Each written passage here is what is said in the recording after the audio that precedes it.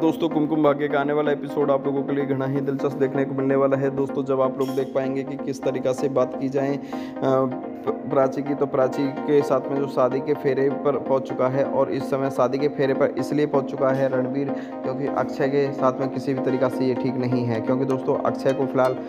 बेहोश कर दिया गया है और बेहोश करने के पीछे की प्लानिंग किसी और की नहीं थी, बल्कि आप लोग जानते ही हैं कि साथ देने वाला आर्यन आर्यन है जिसने रणबीर को ये साफ़ साफ़ बोला है कि प्राची तुम्हारे से प्यार करती है, तुम प्राची से। और मैं चाहता हूँ कि इस खेल को अब ज़्यादा आगे ना बढ़ाया जाए। आप लोगों को बता देना चाहता हूँ दोस्तों कि जल्दी ही आप लोगों के बीच में कहानी एक और नया मंजर लाने वाली है। हालाँकि दोस्तों आप लोग जानते ही हैं कि सभी लोग कितने ज़्यादा आखिरकार कन्फ्यूज़न की स्थिति में नज़र आ रहे हैं कि आखिरकार ये हो क्या रहा है। आप लोग जानते ही हैं कि इस समय सभी लोगों का मानना ये है कि जो हो रहा है वो बिल्कुल भी सही नहीं हो रहा है। और इसके लिए आप लोग जानते ही हैं आलिया और रिया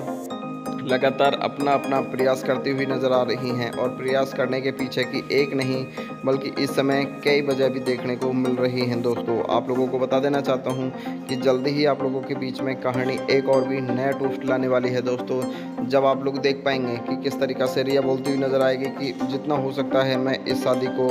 पोस्ट पोस्टपोन करवाने की कोशिश करूँगी, क्योंकि आप लोग जानते ही हैं कि हर तरीक़ा से रिया ने आलिया का, आलिया ने रिया का, बल्कि एक दूसरे का साथ मिलता हुआ नज़र आ रहा है। लेकिन दोस्तों, कहानी एक नया रूप ले चुकी है और एक बार फिर से पल्लवी ने बोल दिया है कि मैं कभी भी प्राची को अपने घर की बहू कभी भी स्वीकार नहीं करूँगी, चाहे इसके लिए मुझे कुछ भी क्यों ना करना पड़े। दोस्तों, एक रियलिटी भी है, क्योंकि इस समय कहानी अलग मोड ले चुकी है रणबीर और प्राची की। दोस्तों, चैनल को सब्सक्राइब करें, वीडियो को लाइक करें, कॉमेंट करके आप लोग मेरे को ज़रूर बताइएगा इस कैसी लग रही है आपको मेरी video thank you so much कि आपने मेरे को सपोर्ट किया। था